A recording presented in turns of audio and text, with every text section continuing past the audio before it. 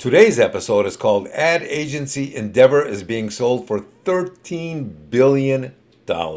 Before we begin, I want to encourage you to subscribe to our channel for free. You can also like, comment, and follow us.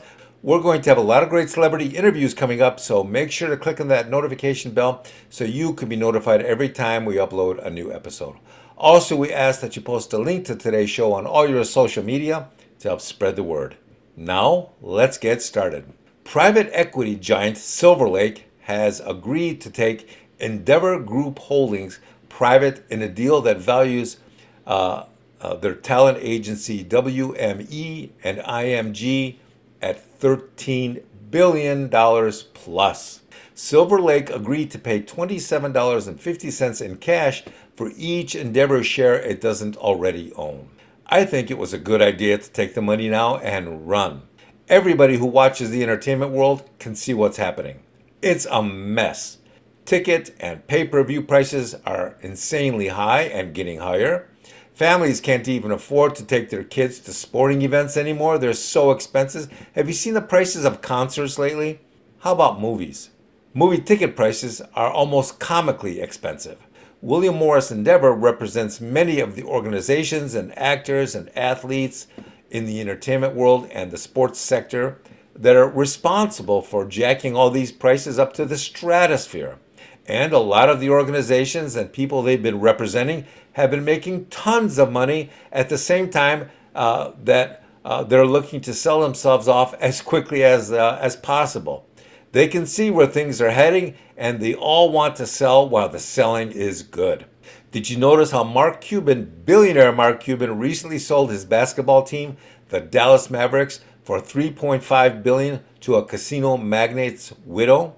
Now, he's still going to be involved and he still owns a minority, a small minority stake, but generally speaking, he has pulled most of his money out.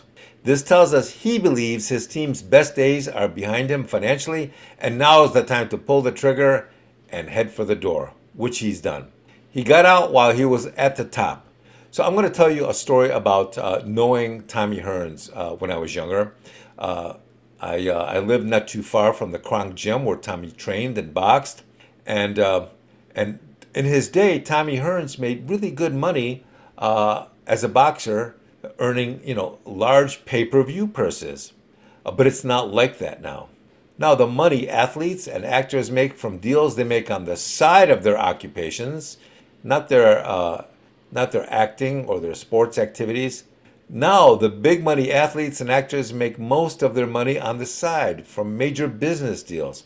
George Clooney sold his tequila business for about a billion dollars, and his cut when he walked away from the deal was about $233 million. George is a great actor and a great comedian, but he never made anywhere near that, uh, that 233 million when he worked in the movie business. Never. So he got into the tequila business, and that's what happens a billion dollars. Asian countries are no longer investing in Hollywood. The Saudis are investing billions into the sports and entertainment sector, but they can't seem to manage them very well or make them very profitable. The recent golf investment isn't going so well. So I wouldn't be surprised if they eventually started selling or divesting themselves of some or all of those major entertainment acquisitions. People think that entertainment is always a gold mine, and it was for a long time. But now the sector has gone insane with high ticket prices and pay per view costs, and that's hurting the entire industry. Where's all this headed? We predict that online sports betting will play a major role for the sports world and the entertainment sector. People are going to enjoy betting on sports activities more so than they actually enjoy watching the game. That's where all this is going. We also believe that there will be more corruption in the world of sports betting very soon, and that they'll eventually have to implement more sophisticated AI systems and controls to prevent athletes and others from manipulating or exploiting the sports betting opportunities. Good luck. Thank you for watching. I want to encourage you to subscribe to our channel for free. You can also like, comment, and follow us. We're going to have a lot of great celebrity interviews coming up, so make sure to click on the notification bell so you can be notified every time we upload a new episode. Thank you, and we shall talk to you soon. Bye bye.